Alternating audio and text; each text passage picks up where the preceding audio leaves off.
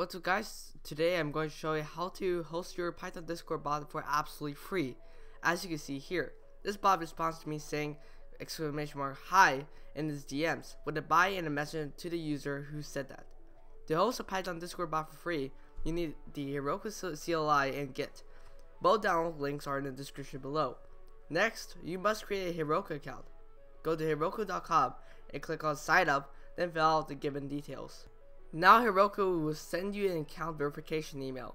Click on the link to activate the account, and then put in your account password. You will now come up on this screen. Press create a new app. Now give your app a name, and choose the country you want the app to run from. Now click on settings and click on add build pack. Click on Python and click on save changes. Now go into CMD and type in Heroku login. Then put in your Heroku email and password.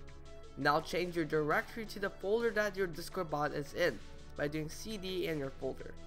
Now type in echo greater than sign procfile. Just explanation on what the procfile does. It instructs Heroku on what to do with the bot. The procfile must have no format associated with it. This is why I created the procfile through CMD. Now we are going to edit the procfile.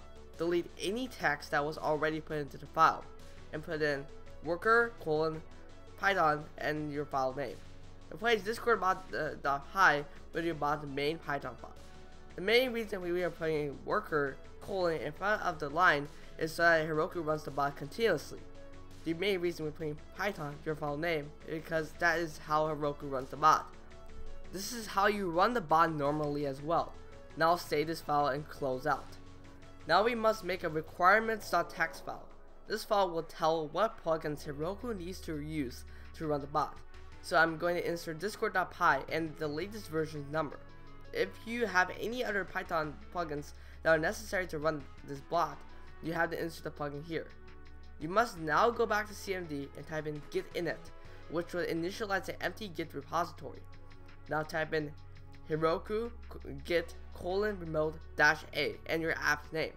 Now do git add period to add all of the files related to the mod to the git repository. Now we have to do a git commit. So do git commit dash am and put anything in between the quotation marks.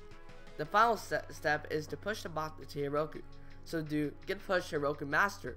Just wait until it completely pushes everything to Heroku and setups the bot.